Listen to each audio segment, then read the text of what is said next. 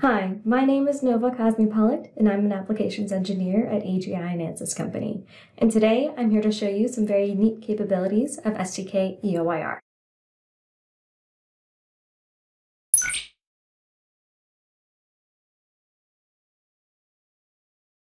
Welcome to the wonderful world of EOIR.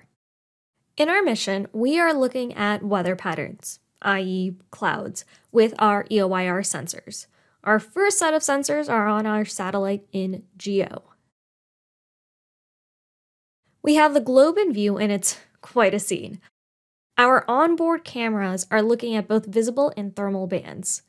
We see the Earth in the visible band up at the top and then the thermal down below. How else will clouds affect our mission? Well, let's take a closer look.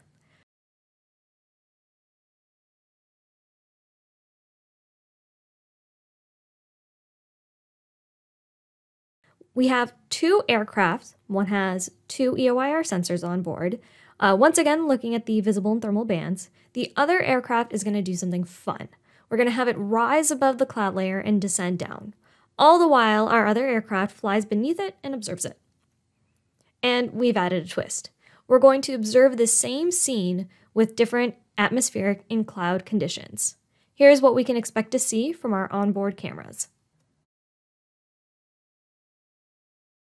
Without any atmospheric or cloud conditions, we see the aircraft clearly. But once we incorporate clouds, we can see the aircraft dim, so to speak. Finally, we can look at the same scene with the clouds and Modtran atmosphere.